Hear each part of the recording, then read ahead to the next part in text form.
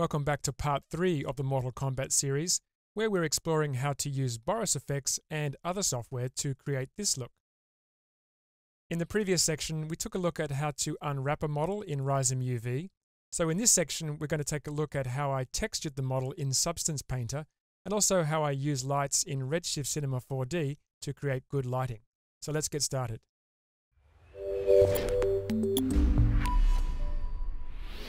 So with the UVs finished, the next step was to bring the Mortal Kombat dragon into Substance Painter for texturing.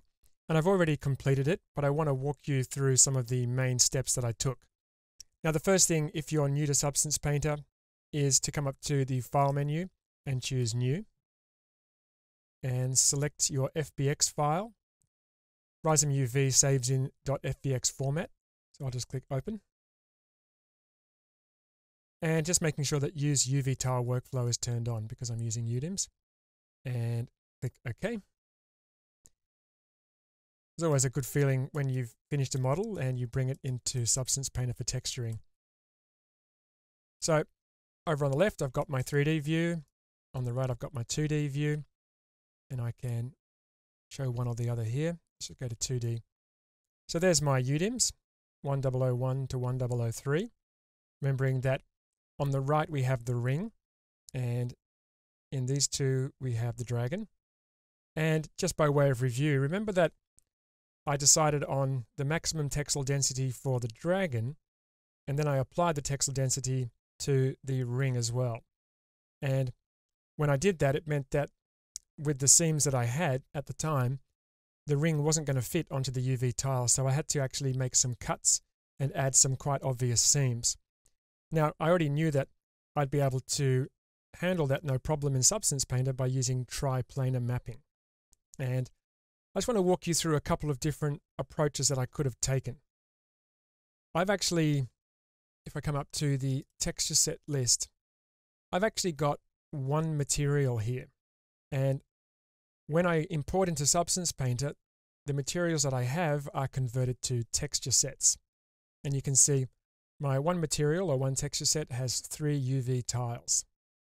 And that means when I apply a material to this, I can either choose triplanar mapping or UV projection. If I use UV projection, then the seams on the ring are going to be obvious, but I'm going to get a great result on the dragon. If I use triplanar mapping on the object, the seams on the ring won't be evident, but I'm not going to get quite as good fidelity in my materials as if I'd use UV projection. Because triplanar mapping actually blends the edges of different textures to hide the seams. And that's a really basic way of describing what it does. But I've felt in my experience that I get a better result using UV projection. So wherever possible, I prefer to use UV projection. And I always like to unwrap my objects in a way where I can hide the seams and then I don't have to use triplanar it is really handy to have that, especially in situations like this. So I'm in a bit of a conundrum. Do I use UV projection or do I use triplanar? But the simple answer is I can use both. I actually ended up, because I have one material, using masking to use both triplanar and UV projection. But you could have also used two separate materials. Could have had one material for the ring and one material for the dragon. But I prefer to, especially when I'm using UDIMS, just use a single material. But there's definitely more than one way to do this kind of thing in Substance Painter. Okay, so it's going to bring back my 3D view. And the next step, once you've imported your model, is to bake the various maps. Just by coming over to the Texture Set Settings tab and coming down to Bake Mesh Maps. I like to bake mine at 4096. Now, I don't have any normals in this, so I don't need to bake that. I don't have an ID pass and I'm not using subsurface scattering, so I don't need thickness. I'm not using high, low poly workflow either for this, but I will actually just increase the subsampling. And then I've only got one texture set, so whether I click Bake Dragon or Bake Selected Textures, doesn't matter. So I'll just click on Bake Dragon, that'll go through and bake those mesh maps. And I'll just pause for a moment while that's just doing its job. Okay, so that's now baked all of those mesh maps. and that's ready to start texturing. So I'll quickly just walk you through the approach that I took for this. Let me just close this one up. Now when I approach texturing in Substance Painter, I generally don't start from scratch. I tend to make use of the huge library of materials that are already in Substance Painter and all of those ones that are on Substance Source. So for something like this, I would probably come over to my shelf and just type in maybe metal or more specifically bronze because I figured this would be made of bronze. Let's just make that specifically bronze. And what I'll do is I will just literally just drag materials across to my layers and just audition them. See how close they might get to the kind of look that I want. So just spend a bit of time sort of window shopping them, dropping them on, seeing whether they're anywhere close. That one's probably not quite right. And something like bronze armor would make sense. So that looks quite good, kind of getting me somewhere there. I want to get as much or get as close as I can just using out of the box textures rather than you know having to build things up layer by layer. Something like bronze corroded because I probably want a bit of corrosion in this as well. It's probably a little too much corrosion. I'll definitely keep that in there. Uh, bronze statue is a different kind of corrosion. Probably got some edge wear in there as well. That's interesting as well. Let's turn that off. Uh, cast bronze, which isn't bad as well. Maybe I'll take a look at some of the steel. And a lot of these textures I've actually imported from Substance Source. Something like, let's see, what, what's this medieval stylized? It is just fun to drop various materials on there and see how they look. That's quite interesting. And nothing painted, of course. Steel ruined could be quite good. Because I imagine this has got a fair bit of wear and tear. So that's pretty good as well. So I ended up with a list of about 20 different materials and smart materials. And some of them, like this one here, uh, which one's the first one I grabbed, Antique Bronze Darkened, that looked pretty good to me. That seemed like a pretty good start.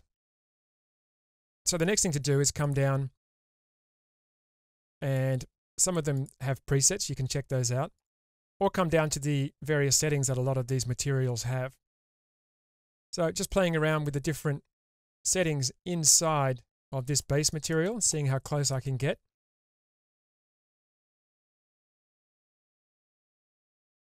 Now roughness, do I want it, do I want it rougher? So that was a you know pretty good base. And if I drop that one on top, and that's going to completely cover that, which is not what I want. I can use various blend modes, but what I'll do is I'll grab the bits that I like. So for this one, you know, maybe that sort of dirty edge damage and dirt was quite good. So I'll just turn off the base, turn off this, uh, turn off the bumps. Maybe the edge damage is too much. And then just grab what I like. Just grab the dirt and take it out like that. And then just delete what I don't want. So that's the good thing about smart materials like this, these ones that are in folders. They're obviously built from a whole lot of different layers. You just grab the bits that you need and delete what you don't need, like that. So that's how I approach the Dragon. So what I'm going to do is open up the finished version and we'll walk through that a little bit more. And just before I do that, you can see here, there's that horrible seam. Okay? So keep that in mind when I open up this other version. I'll just pause for a moment. So here's the finished Dragon. Let's talk about this one. Now you can see that I actually have two separate folders here, one for ring and one for dragon. And notice how we're no longer seeing those seams along the ring. That's because what I did was I set up the material in UV mode, UV projection mode, and then I grouped that and duplicated it. And then I just changed my projection to triplanar. So the ring uses triplanar projection and the dragon uses UV projection.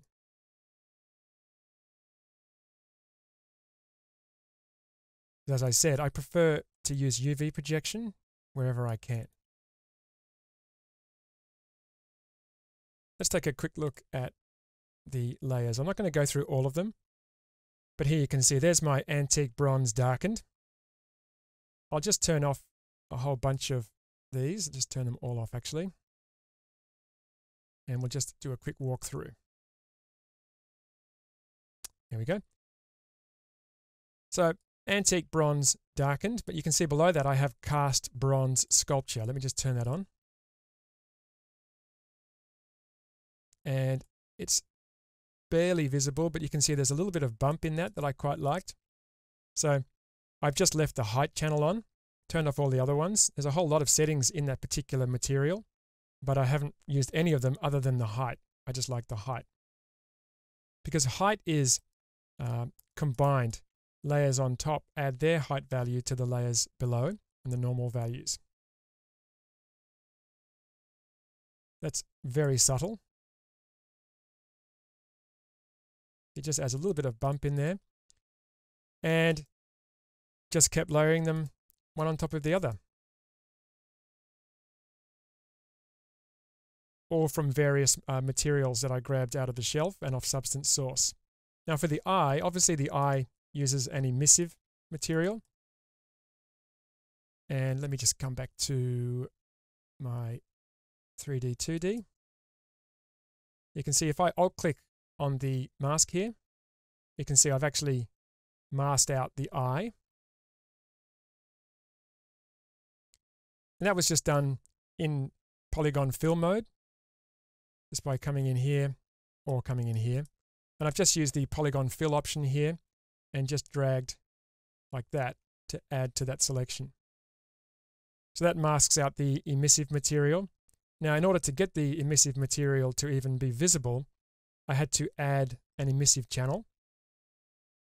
And that is up here in channels. If I click plus, here I can choose emissive. And I've already added it. So you can see it's down here. And for that particular layer, I've chosen emissive here. So there's the eye, and above that added some eye occlusion, just to sort of you know mask that out a little bit, add a bit of grime and dirt in the corners. Let me just hide this. Uh, where am? Hide the 2D. So above that, I have this neck pattern. So this neck pattern was just a file I created in Illustrator. And I just saved that out as a PNG file.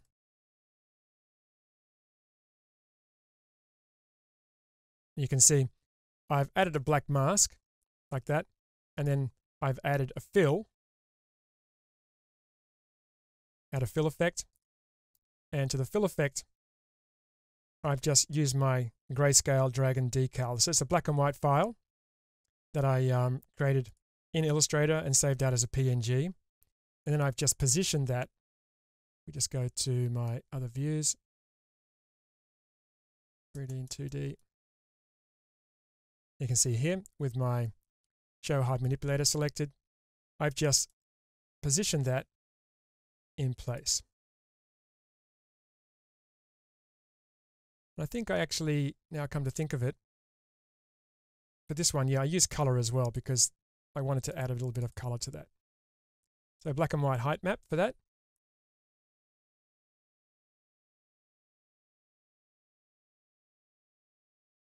And then just once again, using different parts of different materials and adding on top. Just keep turning those on. Some there's some occlusion around the eyes, some edge wear, some edge highlights until I got the look that I was after.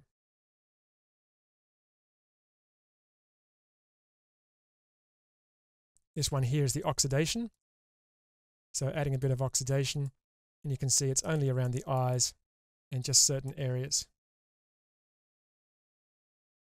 and that's using a dirt generator. So with a black mask, just adding a generator and choosing the dirt generator. That way, with a generator like dirt, I can come and I can adjust the dirt level.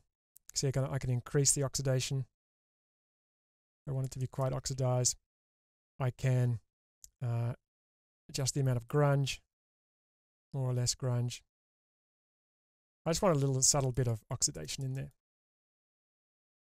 And some dirt drips. And once I had that material set up, obviously I could spend hours and hours and hours just tweaking it, um, but I was pretty happy with that look overall. I was holding down the shift key right mouse button to move my environment. Once I had that, then I duplicated it, then I grouped it, then I duplicated it, and I created the ring version. And it's exactly the same, no changes other than removing the eye, because there is no eye on the ring, and selecting each of the materials and making sure that projection was changed to triplanar from UV projection. And also anything under the masks, any of the generators, just making sure that they're also changed to triplanar projection. So anywhere I could change it to triplanar, I did. And all of those seams have gone. There's no seams on this whatsoever. So that's the way I can combine UV projection with triplanar projection on the same model. So once the materials were all set up, the next stage was to get this across to Redshift for Cinema 4D. And for that, I used the plugin from Xolotl Studios. This is Substance Painter Live Link, which automates everything. So once I have everything ready, I just choose my renderer, in my case Redshift, and I choose the size that I want, 4096, and I just choose the texture set. I only have one. I actually also want to choose UDIMs because I'm using UDIMs. And just see if I can get some space here.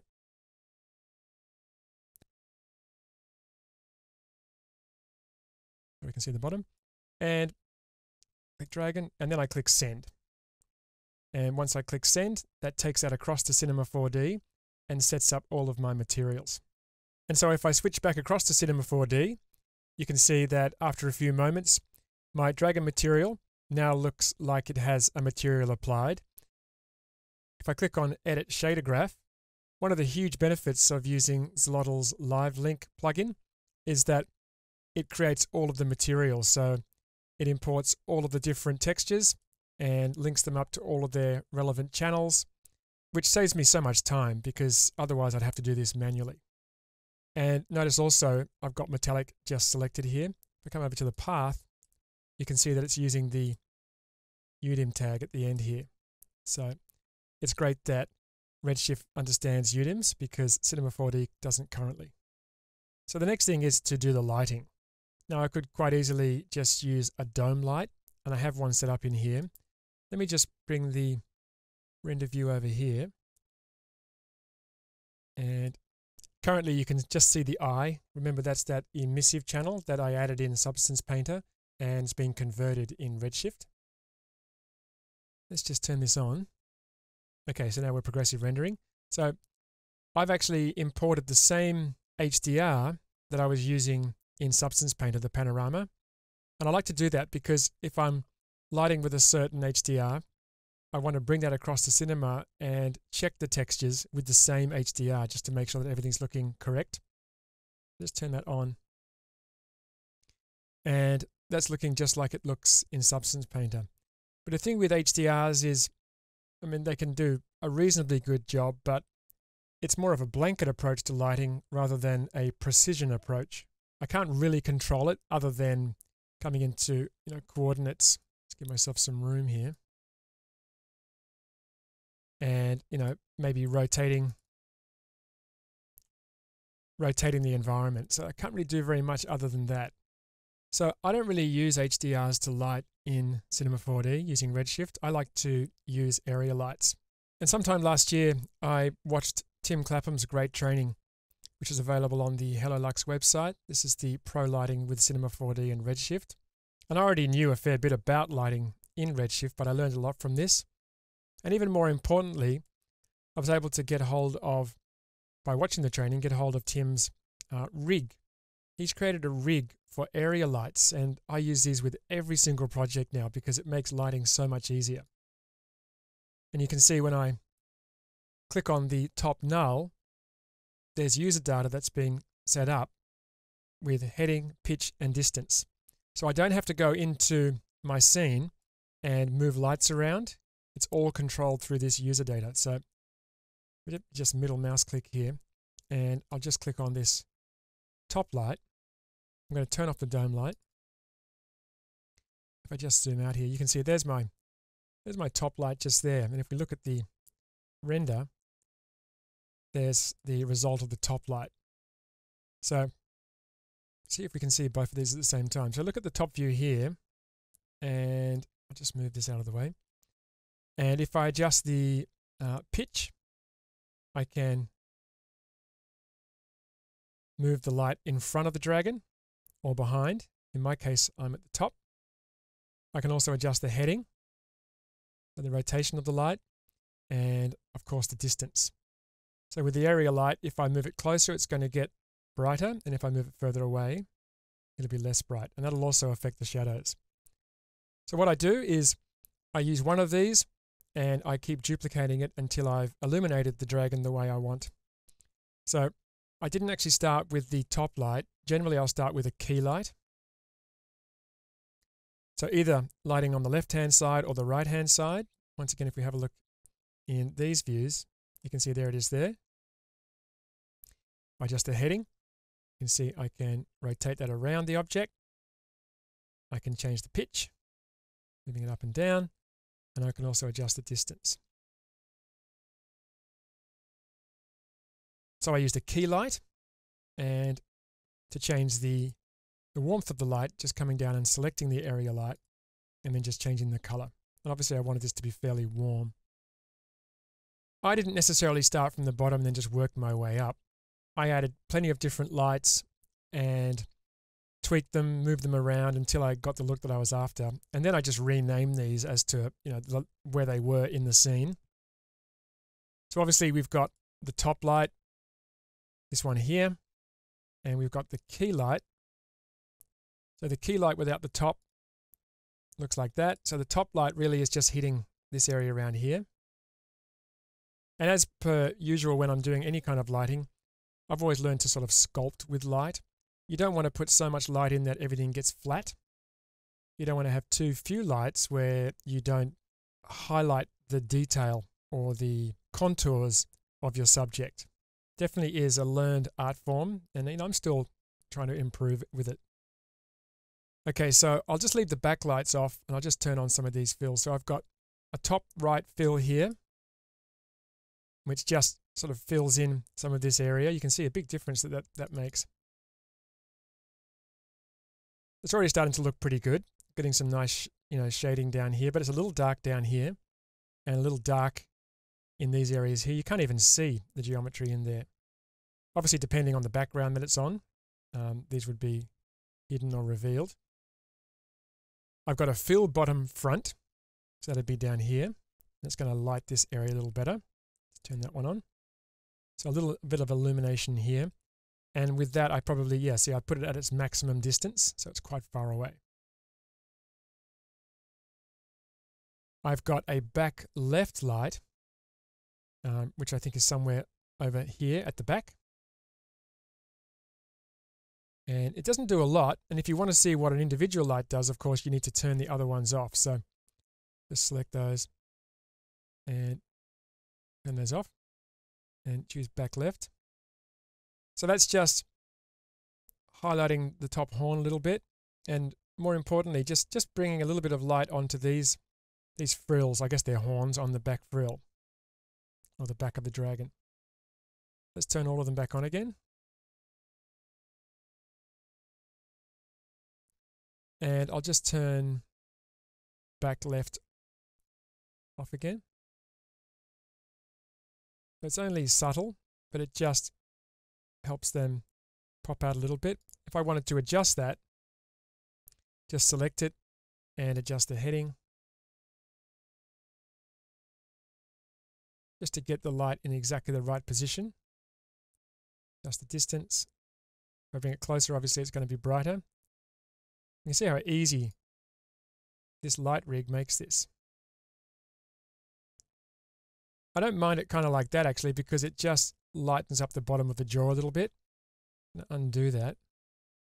bring it closer. It's also affecting the top here. Kind of makes that stand out a little bit more. That's quite nice. Just the heading. Don't want to bring it too far around to the front. That looks pretty good. And I've got a backlight for the overall ring and dragon. So I'll turn that on. And that's mostly affecting just the ring. I think that's just for the ring. Uh, for the, I think that's for both. Let's just check that out. Yeah, so that's that's for both. And that's giving um, a slight blue cast to that because I've made that blue. I like to use a blue light behind. I think it gives a nice um, contrast to the to the warm lights. And I've also got a backlight for the dragon because this one was enough just to add a little bit of brightness or a little bit of blue on the inside extrusion of the ring, which looks quite nice. But this optimal position for the ring gives me virtually no result on the dragon. So in this case, I duplicated it. And for the dragon only one, I've just dragged the, delete this is an old one, I've dragged the ring into the exclusion so it's not affecting the ring under the project tab. So if I turn this one on, you can see this is quite a bright one. And this is a nice rim light that really helps cut these out of the background. And if I adjust that, I can adjust the pitch. See, I can move it up and down. I wanted to get as much of the mouth and you know the base of the jaw and the tongue just to sort of separate that a little bit. These are areas that we're getting a little hidden. And I've got one more duplicate of the key light for the ring on the left and the right. So basically I just duplicated the key and just adjusted the settings. It's going to give me sort of a bright spot on the left and the right, which matches the original um, icon that I based this on. I got that one there and that one there. Let me just turn off the left one again. So just trying to be careful not to flatten things out too much. Let's bring it up to 100. And like I said, it takes a lot of practice and I'm always trying to improve with every model that I light, try and get a little bit better at it. Often I'll do some lighting and then I'll put it down for the day and then I'll pick it up again the next day and I might see something that I didn't see. But I think overall that looks pretty well illuminated without being too flat. And it also gives me a little bit of flexibility for when I take this into After Effects. It's not too blown out in, in any areas where I can actually do a bit of a maybe an exposure effect or um, or some gamma in Sapphire just to you know do some further color correction.